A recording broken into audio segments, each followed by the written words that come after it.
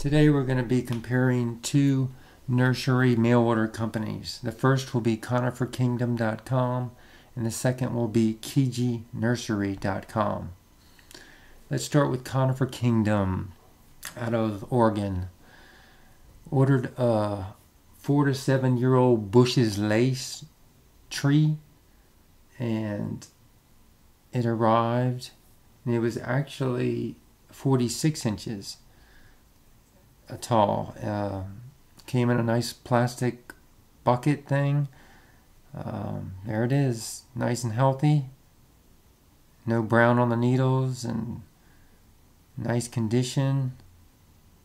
The root ball was uh, nice and moist after coming all the way across the country from Oregon to Virginia.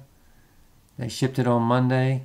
FedEx ground got here on a Saturday and very pleased. There it is, planted in the ground, watering it.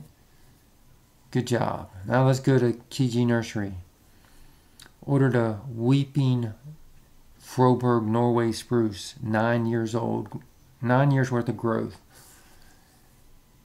And this came in a little bigger box, a little taller. This came from Washington State all the way to Virginia, sent the same way. FedEx ground, sent on a Monday, came in on a Saturday. And as I take the top off, we have a Christmas tree. No, it's actually a Frohburg Weeping Norway spruce.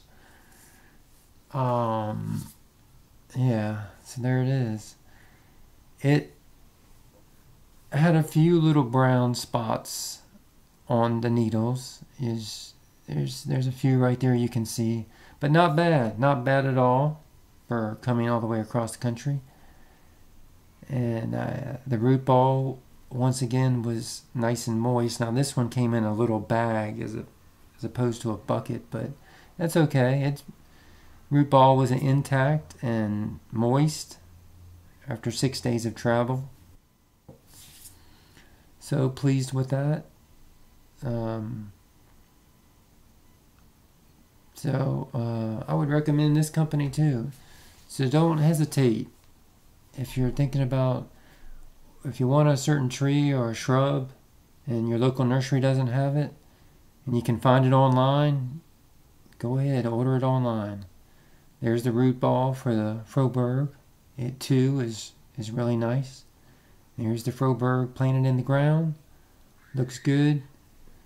Very successful internet purchases. No problems with either company. Would recommend both.